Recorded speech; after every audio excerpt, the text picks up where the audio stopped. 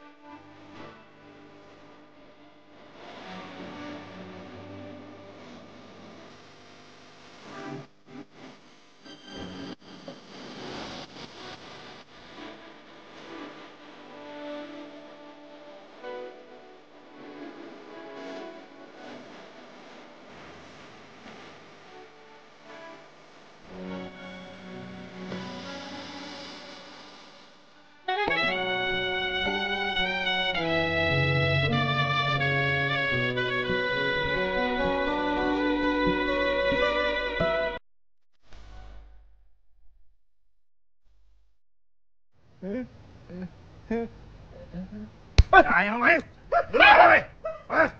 Trời ơi. Đại ca Sao đại ca đánh em? Đại ca. Đại ca Đại ca bị sao kìa? Đại ca. À, gì vậy? Đại ca dậy coi. Gì ổn quá vậy? Sao tự nhiên quýnh ta? Đánh nào? Mới đánh cái chân nè. Ừ. Đang ngủ nhà hả? Tao tưởng nó bắt được con mén rồi chứ Rồi trong mơ mà đại ca cũng nhớ tới nó nữa. Tự nhiên quýnh ta. Con mén này sao với ta? Nó ám tao vô trong tới giấc mơ luôn á hả? Thiệt Em không biết Em với nó có ăn quán gì không? Toàn là nó gây họa Xong rồi em lãnh đạn hết trơn à. Quýnh đi cũng khờ luôn. Tao nhớ rõ ràng. Chính cái tướng đó là tướng của con mén nó đi vô trong khu nhà trọ. Không thể nào nhìn lầm được. Đại ca Có khi nào á Nó chung tiền cho bà chủ nhà Để bao che cho nó không? Mày bắt đầu thông minh rồi, rồi đó. Đúng rồi đó. Bây giờ làm sao? Không ấy á Ngày mai em với đại ca Quay lại chỗ đó Cái mình giả bộ mình mướn nhà Cái mình xin bà chủ nhà Cho mình vô mình coi phòng. Đúng rồi, đúng rồi. Mày thông minh ra rồi đó. Thông minh cũng đánh Ngu cũng đánh Bình thường tỉnh đánh Giờ mơ cái quýnh luôn à. Mày sao quá Bình thường mày ngu lắm. Mày nhờ tao quýnh mày biết Bây giờ mày thông minh được vậy nè. Không dám đâu. Bình thường chỉ có ngu thôi. Đại ca quýnh điếc Mốt vừa ngu vừa khùng. Nhiều quá thì ngủ đi.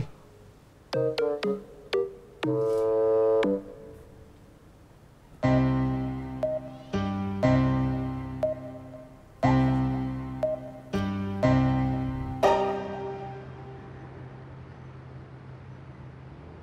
làm ăn như vậy là chết chị rồi. Chị tin lời em nói. Chị cho người đăng cái clip đó Xong còn cho tiền họ chạy bài nữa. Mà rốt cuộc cái nhà đó không phải là nhà của con Trang. Ủa? Sao vậy được? Rõ ràng là em thấy nó chui vô trong đó mà. Dạ. Lần sau em có chụp hình á Thì chụp rõ ràng cận cảnh như vậy nào?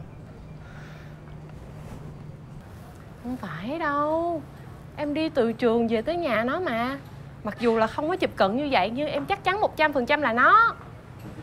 Mà con nhỏ này nó quỷ quyệt lắm chị. Có khi nào nó biết mình bóc phốt nó Cho nên nó cố tình thuê căn nhà đó không? Chị cũng nghi lắm. Nhưng tiếc là nó đi trước mình một bước. Trời ơi Hai cái cậu này ngộ ghê à. Tôi đã nói hết phòng rồi Mà làm gì cứ rần rần rần rần rần giờ coi cái cái phòng trọ tôi vậy? Thì bà cứ cho tôi vô coi đi Biết đâu được ngày mai có người trả phòng Lúc đó gọi tôi tới. Thôi thôi thôi thôi. Tôi đã nói hết phòng rồi Mấy cậu đi chỗ khác á Mà tìm ờ, chỗ trống mà thuê. Ý bà làm sao hả? Là không muốn cho tụi tôi thuê phòng hả? Tôi nói hết rồi. Ê bà chơi tôi không có tiền hả bà mập Thôi đại ca. Đại ca đừng căng. Bà nói vậy thôi. Còn mắt khác đi. Đi khác Im cái mỏ chó mày lại đi. Của mày không á. Suy nghĩ rồi bài ra tùm lum tùm la. Cuối cùng được cái gì? Thì em nghĩ là nghĩ vậy thôi. Còn chuyện gì xảy ra thì sao em biết được? Mẹ mày hay quá ha xuống luôn đi mày. Không tin mày được nữa rồi.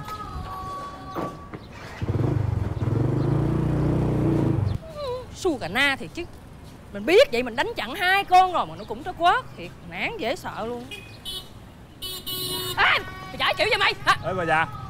Bà già này bà đi đứng kiểu gì á hả? Xin lỗi đang suy nghĩ rồi không có để ý. Đi lơ ngơ lơ ngơ. Hết thương gia đình hả? Tôi đẩy cái bà về thăm ông bà luôn bây giờ. Bỏ qua đó nó không vui ủa mà hai ông đi đâu khu này vậy? Kiếm người quen. À vậy hả? Ê lại nó nghe nè. Nhìn tôi một cái. Bà biết nhỏ này không?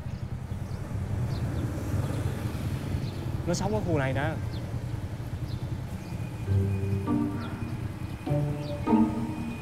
Nhỏ này tôi nhớ tôi cũng quen quen đó. Biết không trả lời đại đi đang suy nghĩ con nhớ con nhớ con sao thấy nó quen quen. Thôi khỏi luôn đi. Nhìn mặt ngu ngu biết không biết rồi quái bà già thiệt chứ. Hỏi thì đang suy nghĩ từ từ trả lời trả lời. Nóng quá mà nhỏ này mặt nó quen thiệt. Nó ở đâu ta?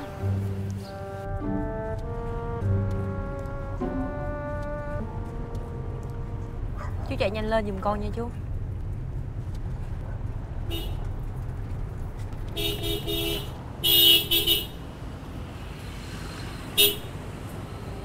Bà làm như đường nhà bả vậy đó. Trời ơi. Bà đi ngang ngang giữa đường vậy. Chú bóp kèn cho bà né qua giùm con với. Bà này thiệt tình bà lăn sàn giữa đường vậy trời.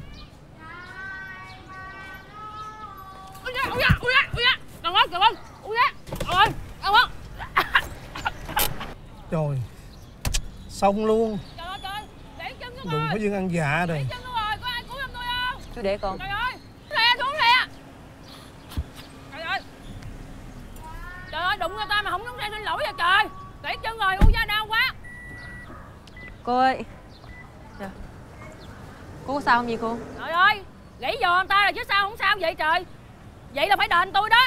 Hay là bây giờ cô lên xe đi. Con đưa cô đi bệnh viện. Rồi tiền viện phí bao nhiêu con trả cho? Không không không tôi không có đi bệnh viện. tôi đưa tiền tôi á tôi tôi mua thuốc tôi bó rồi tôi bồi bổ tự ha tự vài ngày nó hết à. Bây giờ cô muốn ngồi đây ăn dạ Hay là tôi bắt công an bây giờ? Cái gì? Ăn dạ cái gì đụng người ta rồi bây giờ đổ thừa tôi ăn dạ là ăn dạ gì? Báo công an hả?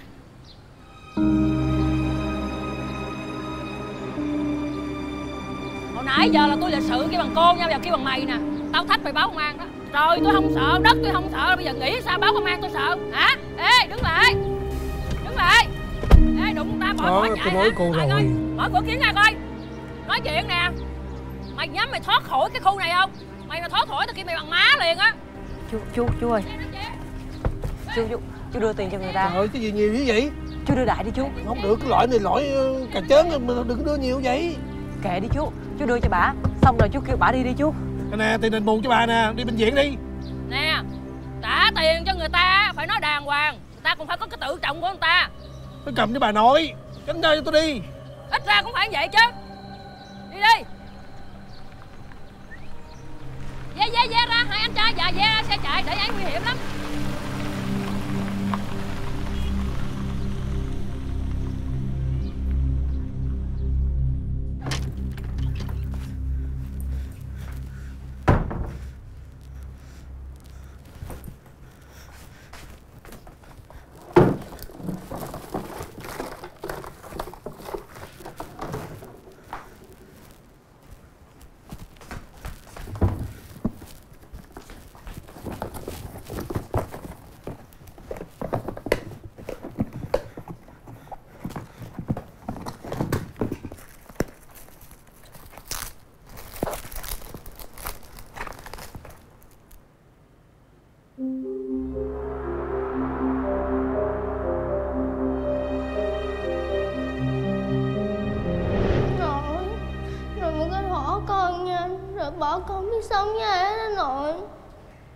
Con ngoan.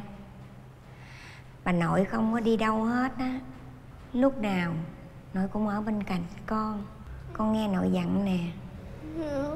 Bà Kim Bạn của bà nội Đến đây á rước con về để mà chăm sóc. Không Con chỉ muốn ở đây với nội rồi Con muốn đi đâu nữa. Con có thương nội không? Dạ con. Vậy thì nghe nội dặn nè. Con phải ngoan phải biết nghe lời bà kim. Bà kim với bà nội cũng giống như nhau thôi. Không có khác đâu con Dạ con nhớ rồi. Còn nữa con phải cắt đứt liên lạc với mẹ con. Nó có về đây con không có được đi theo nghe chưa? Nó mê cờ bạc bỏ chồng bỏ con. Bà kim bà không có thích bà không muốn dính dáng với nó đâu. Con nhớ đừng có đem phiền phức gì cho bà kim nghe con. Nội hứa với nội đi. Dạ con hứa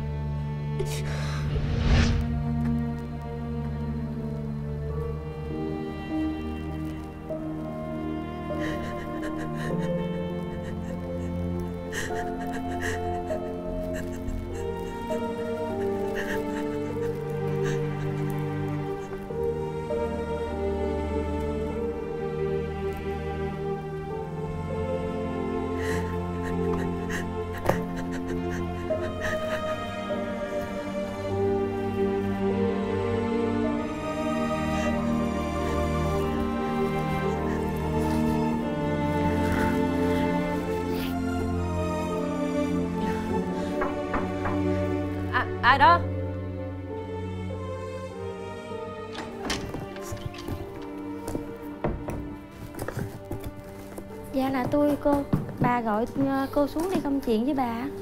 Chị xuống trước đi, Lát tôi xuống sau.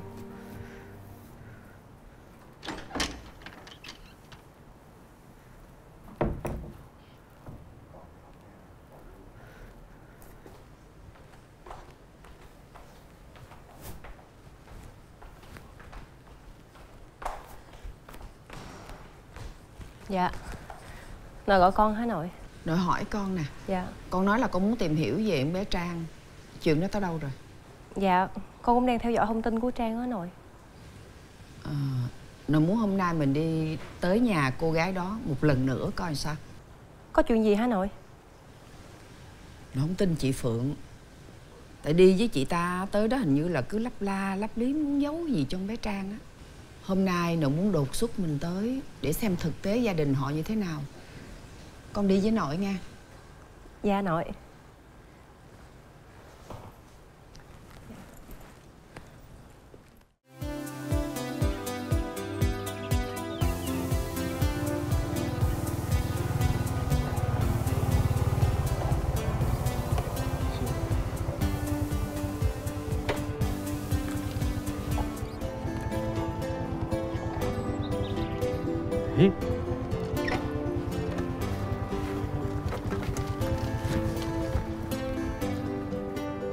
Đúng rồi.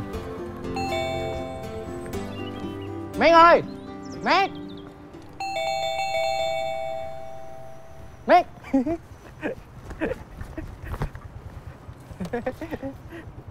Ủa? Mét Ủa Tiến? Rồi, thôi thôi vô nhà vô nhà. Vô vô. Trời ơi. Công nhận Cái nhà đẹp thiệt á Mét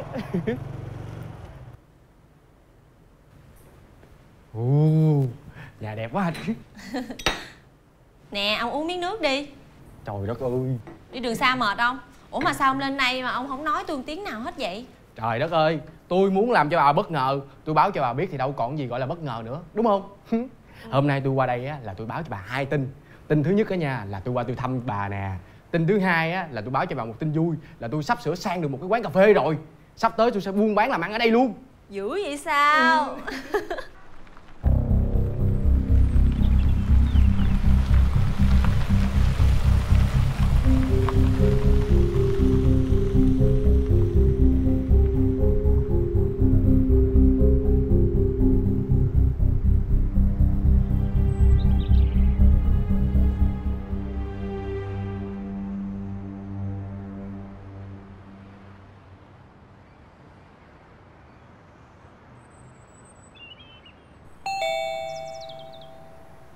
chú công để tôi ra mở cửa cho.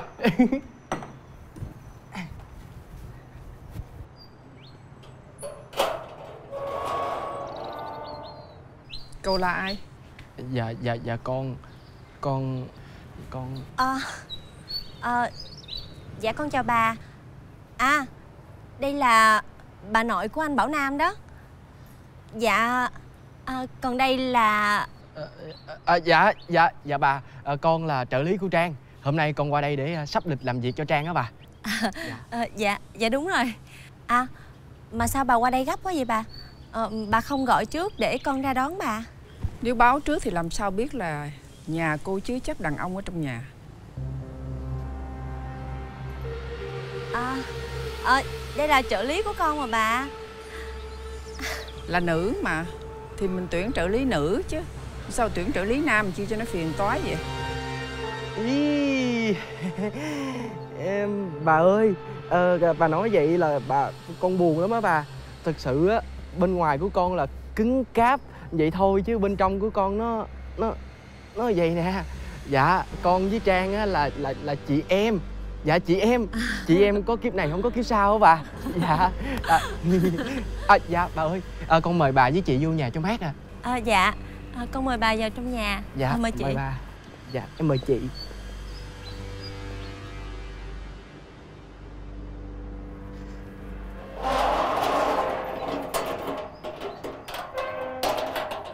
Dạ con mời bà dùng trà. À, Dạ chắc là bà có điều gì muốn dặn dò con? Tôi không cần nói dòng do nữa. Hôm qua tôi có đến Để tôi xem gia cảnh của cô như thế nào thì à, tôi thấy cũng tạm ổn. Nhưng Với những gia đình thông thường thì được. Còn đối với cháu tôi Với Bảo Nam Người tương lai sẽ làm chủ công ty của gia đình. Thì chung quanh nó cái thứ con gái mà nó chầu chực Để mà nó bòn rút của nhiều lắm. Dạ Con nghĩ là giàu có thì chắc hẳn là sẽ có rất nhiều cạm bẫy xung quanh. Nhưng mà con tin là anh Nam đủ thông minh Để ảnh nhận định đúng sai Thưa bà. Cháu tôi còn trẻ Cho nên nó chưa hiểu rõ lòng người. Nhưng không phải nó lấy vợ cho nó Mà là cháu dâu của tôi. Cái người phụ nữ giỏi giang Sau này sẽ quản lý cùng với nó công ty của gia đình. Dạ Con nghĩ là chuyện này bà nên nói chuyện riêng với anh Nam. Tại vì chắc là con cũng không có liên quan gì đến chuyện này đâu ạ. Em nói sao vậy? Sao lại không liên quan? Em là bạn gái của anh Bảo Nam. Em phải tự hiểu những chuyện này chứ. Dạ em nghĩ là em không liên quan gì đến chuyện này hết. Tại vì cái chuyện mà bà đặt tiêu chuẩn là cháu dâu của bà như thế này như thế kia Thì con nghĩ là bà nên nói chuyện riêng với anh Nam. Còn con thì con cũng giống như những cô gái khác. Ừ, Có người đàn ông đàng hoàng và xứng đáng đến để tỏ tình và yêu thương con chân thành Thì con đón nhận thôi ạ. À. Không lẽ là có một người đàn ông tốt đến với mình, Nhưng mà con phải hỏi anh ấy là gia đình anh có chịu em không? Nếu em không xứng đáng thì em phải cố gắng để trở nên tương xứng. Dạ không, đó không phải là con ạ. Con nghĩ là con cũng có cái quyền như những cô gái khác, đứng ở vị trí của mình và có quyền lựa chọn người đàn ông xứng đáng với tình cảm của con chứ con không thể biến mình thành thứ để cho người ta lựa chọn đâu ạ. Hay quá xuất sắc. Dạ dạ con con xin lỗi bà. Tại vì con thấy uh, trang nói hay quá cho nên con phấn khích. Dạ bà với lại trang cứ tiếp tục câu chuyện đi ạ. À. Cô nói chuyện cũng ghê gớm quá ha. Hèn chi mà thằng Nam nó bị cô dẫn mũi đi ha. Ủa, bà Sao bà lại coi thường cháu trai của bà như vậy Anh Nam đối với con là một người rất thông minh. Ảnh rất giỏi giang. Ảnh biết ảnh cần gì. Con nghĩ là ảnh đủ tỉnh táo Để không có ai có thể dắt mũi được ảnh đâu ạ. Đối với những cô gái sành sỏi Thì đàn ông già đời còn ngã nữa. Huống chi là anh Nam. À, Dạ. Vậy chắc là em phải nhờ chị về nói thêm với anh Nam. Nhắc nhở ảnh là phải cảnh giác với những người con gái sành sỏi ạ. à. Ừ, Chắc em thì em cũng phải nhắc nhở ảnh thêm rồi. Thôi đủ rồi. Tôi đến đây để nói với cô là tôi không đồng ý chuyện của cô và cháu tôi. Chứ không phải ngồi đây để nghe những cái lời nói sức sượt và ra vẻ rành đời của cô. Đi về con. Dạ. Dạ con chào bà.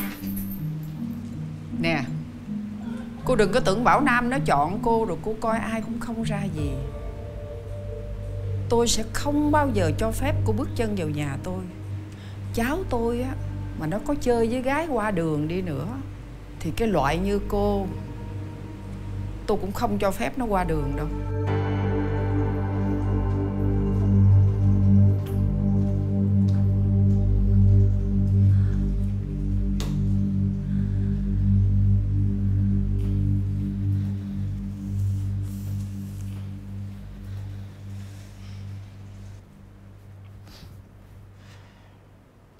Thì không thể chấp nhận được.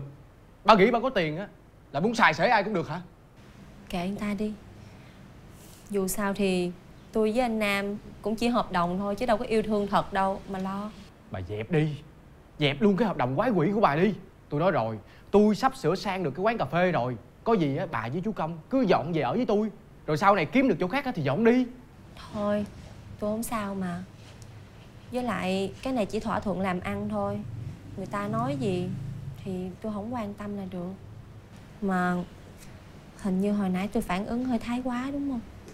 Chắc tại tôi nghèo nên tôi dễ mặc cảm. Thiệt chứ. Tôi nghe bà nói vậy á tôi tức cành hông đây nè. Bộ bà nghĩ là bà có tiền bà có quyền xem thường người khác hả? Tôi á thì tôi chỉ cảm thấy là thương cho mẹ con anh nam thôi. Sống với bà nội khắc nghiệt như vậy chắc là họ khổ tâm lắm ha trạng bây giờ là lúc nào rồi? Bà còn lo cho người ta nữa lo cho mình đi kìa. Ừ, tôi biết rồi. Thôi ông đi về đi. Ờ mà cũng cảm ơn ông nha. Nhờ ông hồi nãy nhanh trí chứ không thôi mệt á. Cảm ơn cái gì mà cảm ơn? Tôi chỉ ước á, là lúc hồi nãy á, tại sao tôi không nói tôi là bạn trai của bà? Để câu chuyện này chấm dứt tại đây. Tào lao quá à. thôi đi về đi về cẩn thận á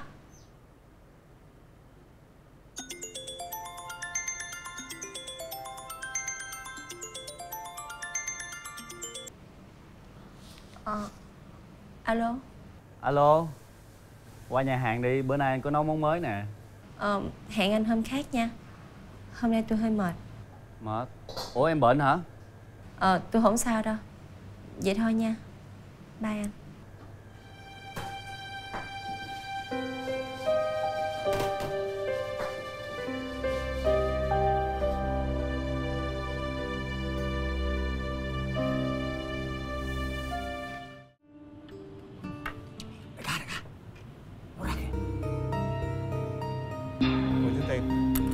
tiền Ui.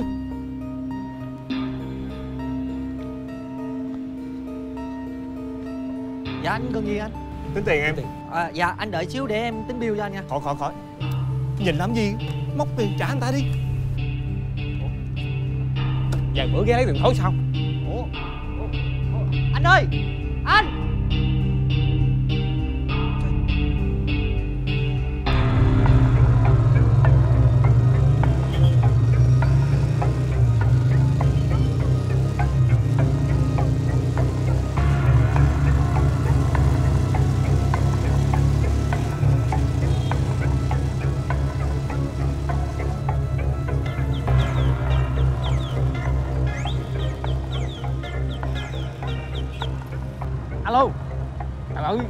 sài gòn mà nhậu cái gì?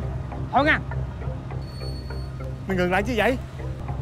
Nghe thợ cho ăn còn. Ủa? Giờ đi, giờ đi đường nào đây ca? Sao tao biết? Đấy em bận nghe điện thoại mà đại ca không theo dõi nó luôn. Bần ông nội mày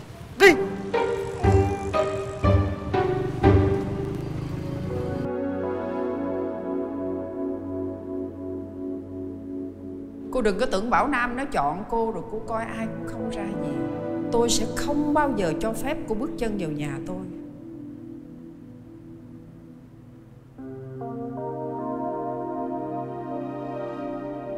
Cháu tôi á, mà nó có chơi với gái qua đường đi nữa, thì cái loại như cô, tôi cũng không cho phép nó qua đường đâu.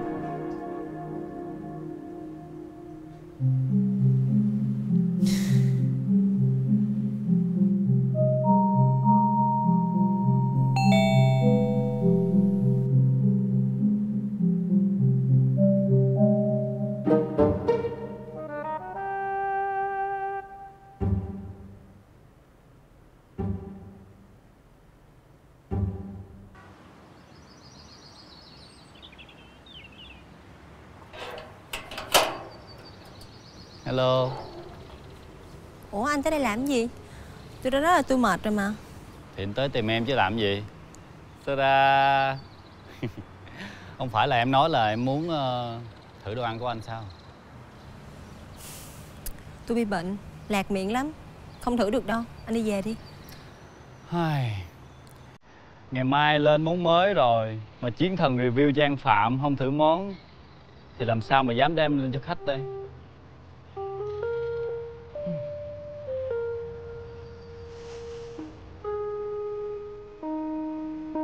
mời.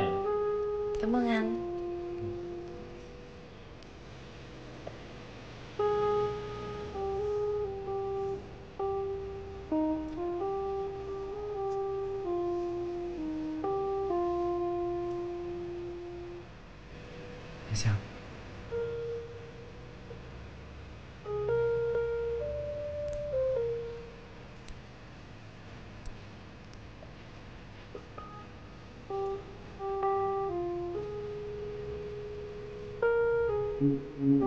Vấn đề gì hả?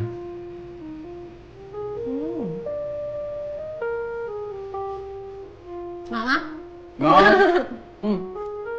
Thật đó Vị thì vừa vặn Món ăn này có vẻ mới.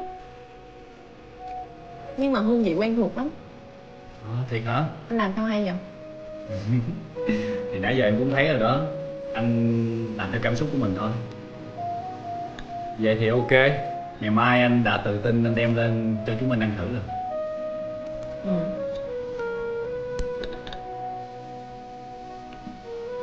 Mà nghĩ cũng lạ ha. Lạ? Lạ gì? Anh được thừa kế cả một tập đoàn. Vậy mà anh không thích làm. Anh thích làm đầu bếp. Thì đó là ước mơ của anh mà. Đam mê anh từ hồi nhỏ rồi. Ngày xưa Ba anh cũng rất là thích nấu ăn. Nhưng mà bà nội không có cho phép Thỉnh thoảng Ba anh lén bà nội, Nấu cho hai mẹ con anh ăn. Những món ăn mà Anh không bao giờ quên được. Anh cũng giống như là ba anh, Rất là thích nấu ăn. Nhưng mà đặc biệt, Anh thích nhất là những món ăn Việt Anh thích thấy người ta hạnh phúc khi thưởng thức món ăn của mình. Thật ra, ẩm thực có tác động rất lớn tới cảm xúc của con người. Cho nên là anh muốn mang những ký ức tốt đẹp của mình thông qua những món ăn. Vậy anh nghĩ bà nội của anh có chấp nhận không? Ừ. anh nghĩ là khó khăn đó nhưng mà anh không bao giờ từ bỏ đâu anh sẽ âm thầm chứng minh cho bà nội thấy anh gây dựng sự nghiệp mà không cần dựa dẫm vào ai khác em ăn thêm đi ăn đi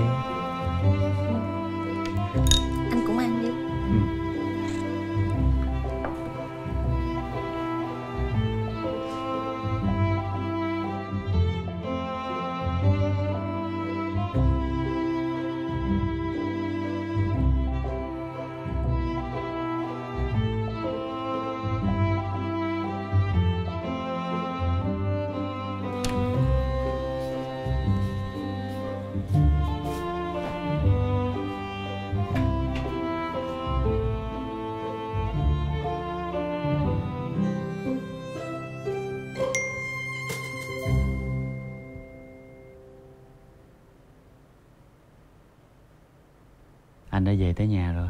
Em ngủ ngon nha. Sến quá. Ngủ đi.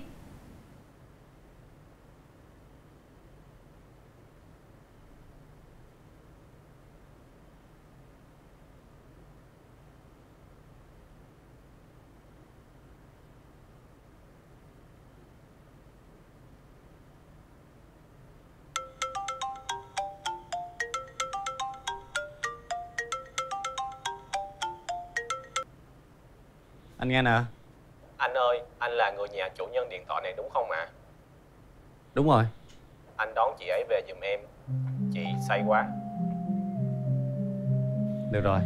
Anh gửi địa chỉ đi. Tôi tới liền.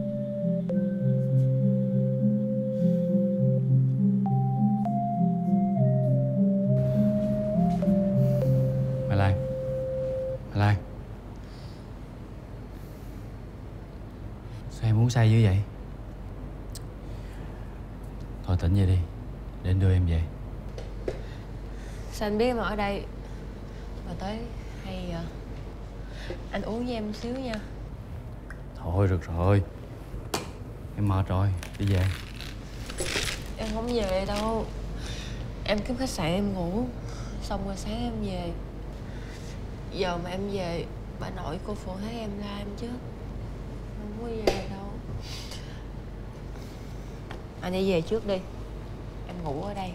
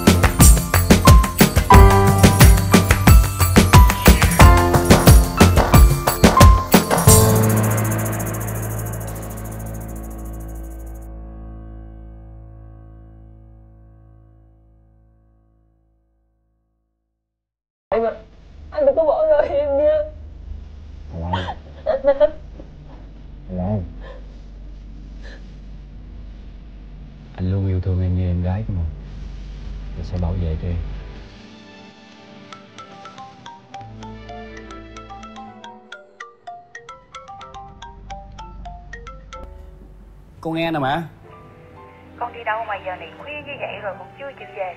Cả Mai Lan nữa Nó có đi với con không? Dạ con về liền á mẹ Vậy nghe mẹ Mai Lan Bây giờ ờ, mẹ của anh không khỏe rồi. Anh đi về trước nha. Ờ, Em ở đây đi. Mai anh sẽ rước em. Ừ. Anh để áo lại cho em luôn á. Anh về trước nha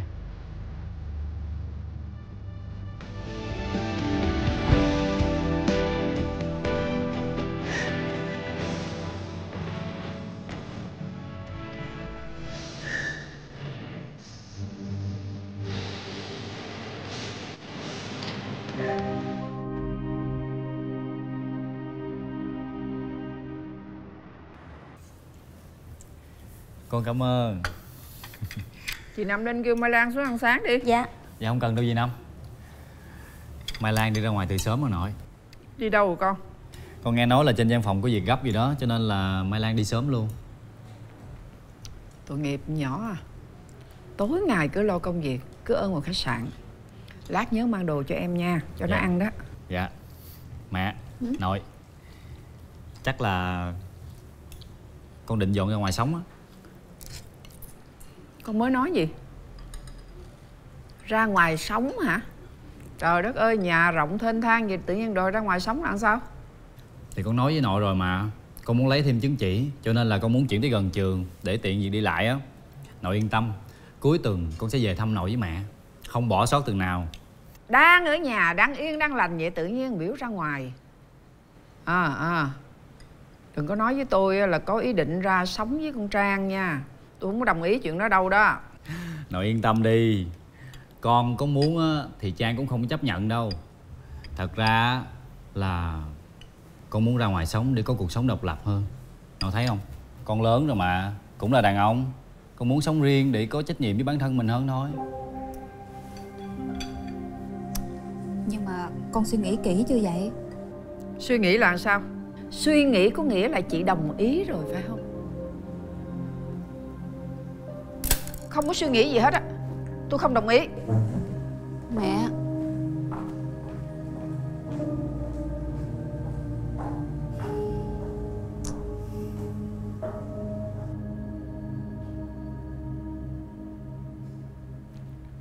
Trang Xuống ăn sáng con. Ba nấu sẵn mì rồi kìa. Dạ. À mà ba. Hả? Ba cho con hỏi Tiền của mình còn nhiêu vậy ba? Sáng sớm hỏi tiền chi cho con? Con tính về Tiền mà mình làm lụng Mình để dành đó Con nghĩ là cũng đủ trả một ít cho thằng Vinh. Thôi xuống ăn sáng đi con.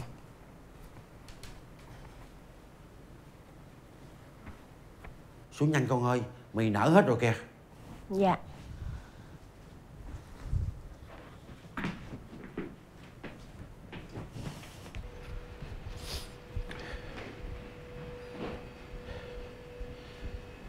Ăn đi con Mì nở hết trơn rồi nè. Ba. Ừ? Ba giấu con chuyện gì đúng không?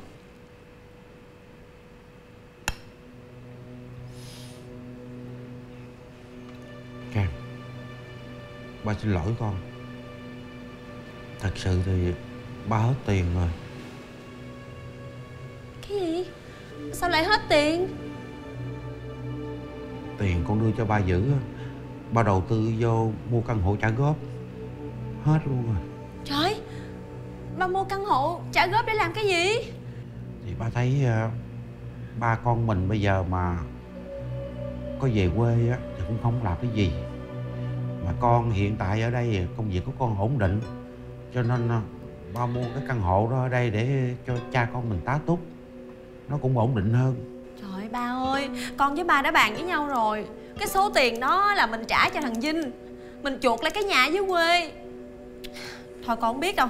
Bây giờ bà bán cái căn hộ đó đi, Rồi lấy tiền đó đưa cho thằng Vinh, Rồi chuột lại căn nhà cho nó xong đi. Chứ nó lãng giảng đây hoài, làm sao con với ba làm ăn được? Thì ba cũng nghe lời người quen thấy giới thiệu. Cái dự án đó bán trả góp giá rẻ. Rồi ba nghe lời, Ba đầu tư vô ba mua. Bây giờ mới rồi ra là cái dự án đó, Thiết kế nó sai tùm lum hết trơn á. Rồi bị chính quyền tạm ngưng xây dựng Giờ kẹt trong đó luôn rồi, Bán không có được. Chứ ba còn giữ tiền đó thì ba đưa cho con, trả nó cho rồi. Chứ đâu để con khổ mấy ngày hôm nay.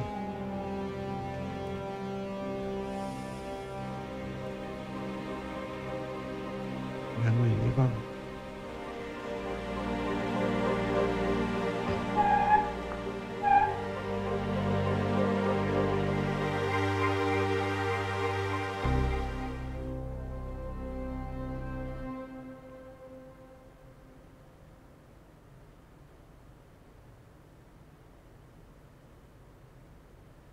Con có muốn á, thì trang cũng không chấp nhận đâu.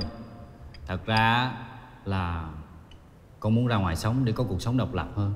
Con thấy không? Con lớn rồi mà, cũng là đàn ông. Con muốn sống riêng để có trách nhiệm với bản thân mình hơn thôi.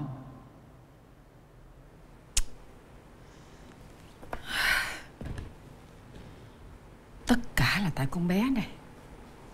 Nó xuất hiện là gia đình xào xáo. Không yên ổn được chút nào. Cô nói đi. Giá bao nhiêu thì cô sẽ rời bỏ khỏi thằng nam nhà tôi? Dạ. Tôi hỏi là cô muốn bao nhiêu? Để cô không bao giờ gặp cháu nội tôi nữa. Ừ, Sao bà lại nói như vậy? Con đến với anh Nam Không phải là vì tiền Nên là bao nhiêu tiền cũng không đủ đâu ạ. Thì ra là tham lam hả là muốn cả gia tài hả? Đừng có mơ. Con đã nói rồi. Con đến với anh Nam Vì con quan trọng con người của ảnh, Là ảnh yêu thương con và chăm sóc cho con. Còn chuyện còn lại, Con không quan tâm. Bà có thể nói chuyện riêng với anh Nam. Nếu như anh ấy muốn dừng lại, Thì con sẽ sẵn sàng nghe theo anh ấy. Con mong là Bà sẽ không tìm con Vì những chuyện này nữa. Con cảm ơn. Chào bà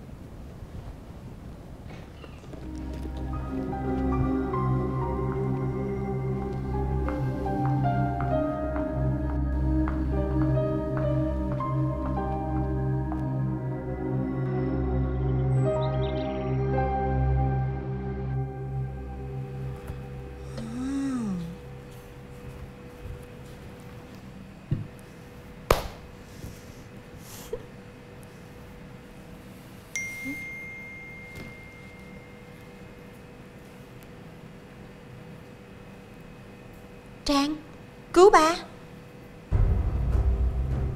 Ủa, Ba.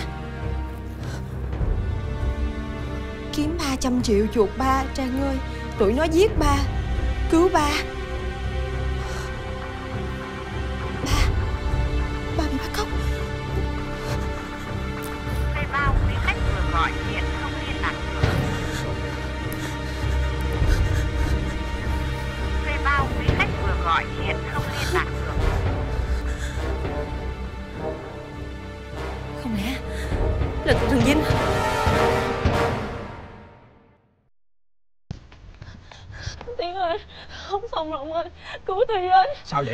Có chuyện gì? Từ từ nói. Ba tôi bị tụi nó bắt cóc. Tụi nó đòi tiền chuộc. Ai? Ai bắt cóc chú công?